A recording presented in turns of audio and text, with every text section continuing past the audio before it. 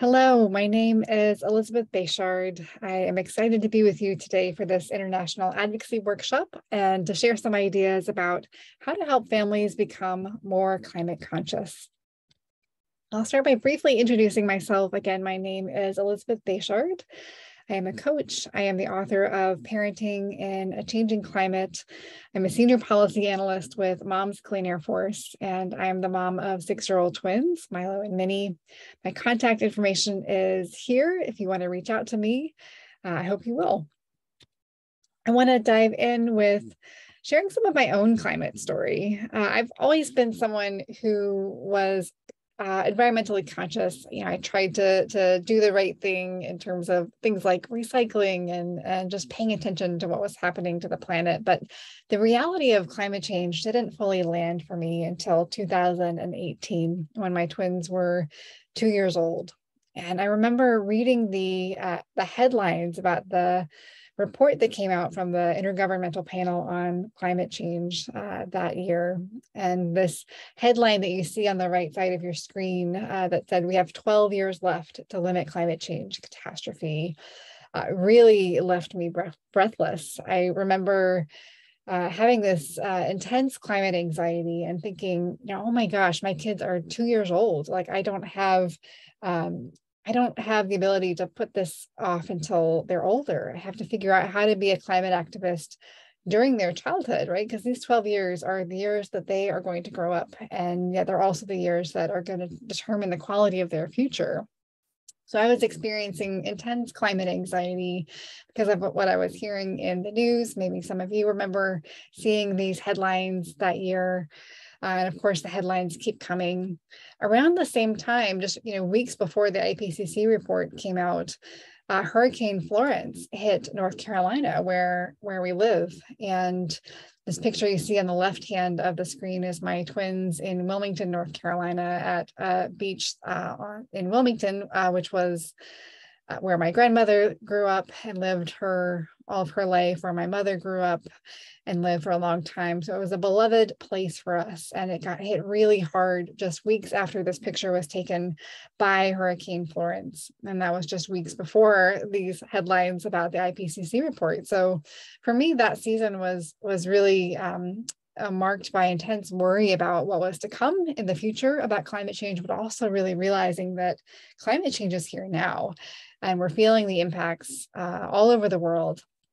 And so I'm imagining that many of you have felt impacts like hurricanes, like wildfires or heat waves. Much of the world has been experiencing heat waves this past summer, droughts. Uh, and so families all around the world are having these moments of, of waking up both to the, the very present reality of climate change, uh, but also worrying about what it means for the future. And so, what does climate change mean for families? I this quote from the the Lancet Countdown on Health and Climate Change really landed with me. And uh, you know, in 2019, the Lancet reported that the life of every child born today will be profoundly affected by climate change. This is a graphic from the report that highlights just some of the ways that climate change impacts children's health. And you, you can see the, the impact of climate change on our kids begins before they're even born now, right? So things like heat waves and, and air pollution uh, can affect pregnancy outcomes before children are even born, uh, causing outcomes like low birth weight, uh, preterm birth that can affect kids for the rest of their lives you know children are, are more vulnerable to heat related illnesses because their bodies don't regulate temperature as well as adult bodies do and when disasters strike you know children are among the most vulnerable and it's really important too that this graphic highlights the, the impact of climate change on teens and adolescents. You know, of course, they're also vulnerable to the health impacts, but the mental health impacts uh, are, are significant and, and growing. And it includes things like uh, the acute stress of being in a natural disaster, uh, such as a wildfire evacuation or a hurricane, but also the anxiety about what may be to come. And this is a graphic uh, showing the results of uh, a survey of 10,000 young people. This was also published uh, in the Lancet last year in 2021. It was a, a survey of 10,000 young people, ages 16 to 25 around the world uh, asking them about how they felt about climate change. And the survey found overwhelming levels of distress among young people about climate change. As you can see here, a majority of them felt emotions like sadness and fear and anxiety. Uh, and extremely worried, right? About a third of young people in this uh, in this study were extremely worried about climate change. And as any parent who has uh, had a child with a physical health uh, challenge or mental health challenge knows that you know when our children are struggling it's an issue for a whole family. So young people's mental health uh, is a family issue too and parents are worried as well you know unfortunately we don't yet have the same sort of large database uh, asking parents about how they feel about climate change uh, but this graphic is from a survey of Chicago parents uh, that was done pretty recently, uh, asking them about their feelings about climate change. And you can see here about a third of Chicago parents who were surveyed uh, feel a great deal of concern about climate change and are very worried that, uh, that their family members, such as their children, uh, might be affected by climate change in the future. This is a graphic from that same survey that was done that shows that the more parents understood about climate change, the more worried they were. And this tracks with my own experience uh, that the more I've learned about climate change, the more uh, worry and concern that I felt. And so this is really important to keep in mind when we're thinking about how we help families become more climate conscious. We need to, to think about the impact that it, that learning more about climate change might have on their mental health as well. And so, what does it mean to be more climate conscious? So, I want to underline that there is definitely no single or best definition of what it means to be climate conscious. You know, what it what it means to be climate conscious has a lot to do with with where you are in the world, and the level of privilege that you have, and we'll talk a little bit more about that in a moment. Uh, but for me, just so that we have a working definition of this for the workshop, uh, being climate conscious means making choices with the health of the planet and future generations in mind. And this is a graphic that some of you might have seen. It's from um, uh, Earth Overshoot Day, which is a website you can visit that shows, you know, that the date at which if, if everyone in the world lived like the people of individual countries, the, that the world would run out of resources. It's a really striking graphic. I live in the United States our Earth Overshoot Day is March 13th, which is barely a third of the way through the year. And so what it means to be climate conscious if you're, you know, in a in a country where the Earth Overshoot Day is somewhere in the early spring might look very different from what it means, you know, if your country has an Earth Overshoot Day somewhere in the fall, right? So the level of responsibility I believe that, you know, people in countries like the United States have is is much higher than many other parts of the world. And so how can we help families become more climate conscious? I'm going to talk about four ideas today. These are, they're not the be all and end all of how we can help families engage, but these are the four things that, that I focus on when I, uh, when I work with families and talk with parents in my, in my own personal networks. We can help families cultivate emotional resilience. We can help them to learn about climate change we can help them learn how to reduce harm and nurture ecological healing, and we can help families engage in conscious activism.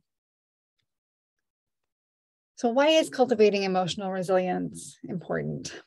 I think it's a, a, foundational part of helping families to become more climate conscious because facing climate change requires that we face really difficult emotions like grief, anxiety, anger, and fear. You know, you've seen the slides showing high levels of distress, and that the more we learn, sometimes the more distressed we become.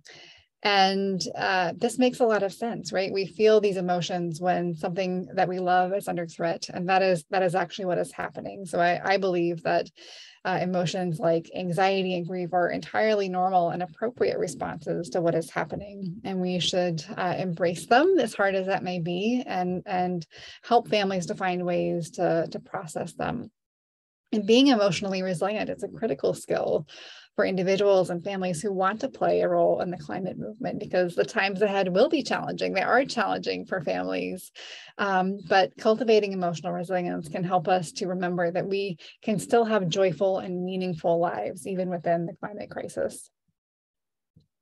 And so, what helps with emotional resilience? And I want to underline that we don't yet have uh, a whole lot of evidence-based interventions for for uh, navigating climate distress. And so a lot of these suggestions may evolve over time as clinicians and researchers learn more about what helps. But some of the things that have been named in the literature about what helps with, with cultivating emotional resilience in the face of climate change are things like validating, normalizing, and empathizing with difficult emotions, like we were just saying, you know, the emotions that we feel, you know, when we when we learn more about climate change are entirely normal. Uh, and making room for them with empathy is really important. Meaning focused coping strategies uh, the idea of meaning focused coping in the context of climate change comes from the work of a Swedish researcher named Maria Ojala. And meaning focused coping involves uh, honestly and realistically assessing uh, the, a situation that may be very difficult, in this case, the reality of climate change, but then looking to your own values and, and beliefs and, and inner resources and strengths to see, you know, what the silver linings might be, not in a sense of, you know, bypassing the difficulties of it, but but seeing, you know, how can I show up the way I want to be in this circumstance? How can rising to the challenge of climate change help me to be kind, become the kind of person that I want to be and live a meaningful life? A sense of community and belonging is really important in the literature um, that I've seen about parents and families and climate change. Some parents draw on a sense of spiritual perspective or uh, a sense of their own ancestral resilience to find strength in facing the climate crisis. It's really important for, for parents and families to have spaces to feel and reflect on difficult climate emotions and some of the, the spaces that are emerging to provide that space are, are things like climate cafes and groups like the Good Grief Network, which are um, spaces that are that are designed just for people to have room to process their feelings and emotions about climate change. Time in nature can be healing. And engaging in collective climate action is also really important. So, one of the studies that I have seen and loved uh, was done by researchers at Yale who were looking at college students experiencing climate anxiety. And they found that engaging in collective action, action with other people, um, helped to reduce depression symptoms for people who were uh, facing climate anxiety, and that individual action did not have that same effect. So, uh, engaging in collective action with other people is not only good for the planet, it's also good for our mental health. And we'll talk a little bit more about this in a minute. Learning about climate change is, of course, part of what it means for families to become more climate conscious. And I want to highlight uh, that how we learn about it is, is really important. So climate change is directly connected to all of the other social justice issues we're facing today racism, uh, wealth and income disparities, gender inequality, uh, all of all of the issues uh, are intersecting with climate change. And so, you know, when we're learning about climate change, it's important to learn about it from the lens of climate justice so that we uh, have a, a, a sense of who's going to be most impacted by climate change and how we can center their needs. Learning about climate change for families uh, also means learning about disaster resilience. And this can be uh, difficult to learn about. Uh, and I want to underline too that disaster preparedness should never be an individual responsibility, right? This is really something that governments, uh, country governments, state and local governments need to be um, in charge of. But at the same time, there are things that individual families can do to stay as safe as possible and uh, when we're working with families you know helping to make sure that they know what they can do to be prepared for uh, the disasters that might um, affect their areas is really important. I've included a couple of links here for US-based websites that can help families prepare for natural disasters, but uh, or unnatural disasters, as we may think of them in the context of climate change. But there are resources all around the world for families on this front. And here's just one diagram from the National Center of Disaster Preparedness in the US uh, with questions that families can ask them ask themselves to, to find out whether uh, they're prepared for the disasters that might affect their area. And you know, this is focused on the U.S. and um, I think what's true about the U.S. and and many parts of the world is that every area has its own unique threats, right? So I, I live in North Carolina, where the main threats that we face are hurricanes and heat waves, and sometimes flooding, not so much wildfires, right? So um, in the in California, parts of the west coast of the of the U.S. on the other hand, wildfires are the primary threat. So understanding the the unique risks of your geographic area is really important important and making sure that the families in your life uh, are aware and as prepared as they can be is really important.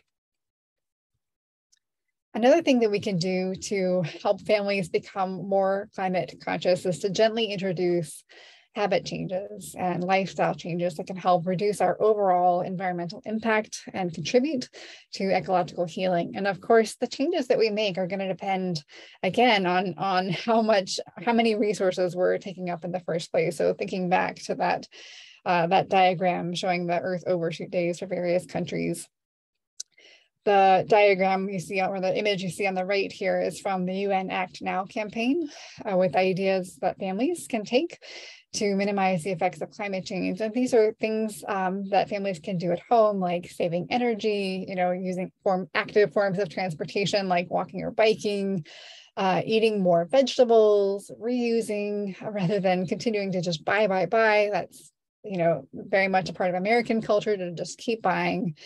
Um, and all of these actions have benefits beyond helping the earth, right? They can help us to remember our values and who we really want to be. They can help us to help our children uh, adapt to living more lightly on the earth and develop those habits from a young age. And there's also profound uh, mental and physical health benefits from some of these changes as well. I love this uh, diagrams from the British Medical Journal that shows some of the health benefits uh, of making changes that are good for the climate. So just as one example here, active transport, uh, and of course that reduces um, greenhouse gas emissions because there's, you know, if we're riding our bikes or walking, there's fewer vehicles on the road. Um, but that's also good for our mental health to get time outside and exercising. It's good for our cardiovascular health and reducing overall rates of, uh, of chronic disease. So almost all of the changes that we make uh, for the sake of the earth uh, can benefit our physical and mental health as well. And engaging in conscious activism for families, I think, is also a really important part of, of helping families to become more climate conscious. And so individual change and system change are both necessary for addressing the climate crisis. And unfortunately, they often get pitted against each other, but we really need both. And the way I think of it is, is that uh, when I'm working with a, a parent or a family who's trying to to be more climate aware you know i encourage them to start in their own homes but then think of that as training for for for taking bigger actions that have broader impact.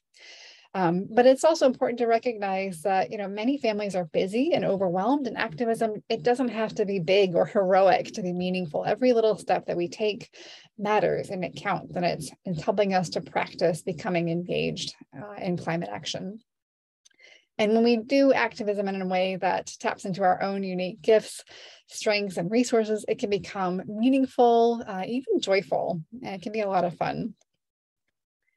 I want to share some ideas for what activism might look like for families. And to frame this, I'm sharing uh, an amazing diagram from a researcher named Elise Amel uh, that she sort of mapped out this idea of spheres of influence. So, you know, we may think that as individuals, we we don't have, we can't have much of an impact, but I, I don't think anything could be further from the truth. This diagram maps out all of the levels of influence that just one person can have, right? Because of the, the ways that we are connected to different social networks and idea networks.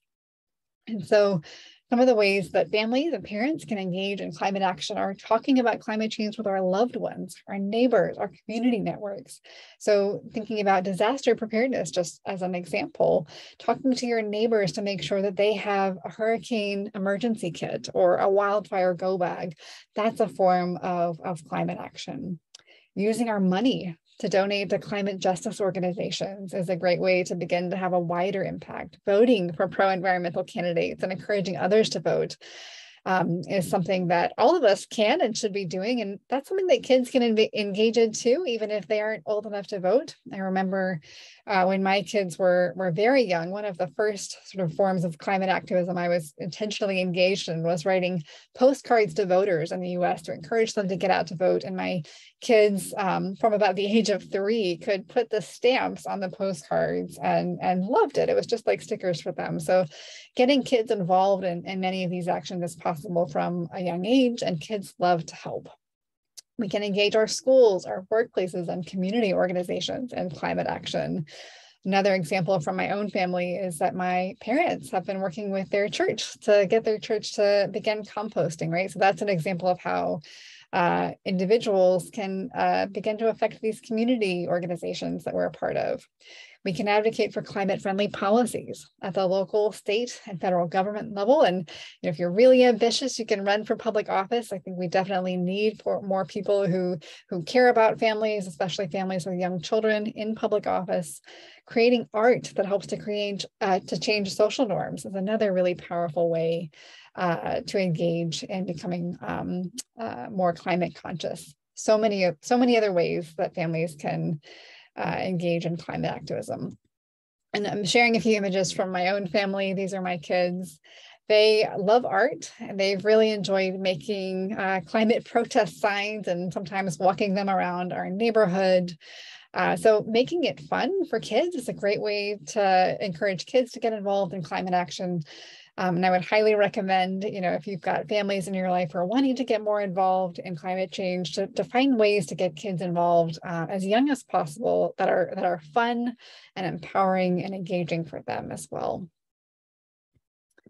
I want to close by sharing some further resources. You'll see on the left side, a list of, of, books. There are so many amazing climate books. So this is just the very tip of the iceberg of books that I think will be useful uh, for families.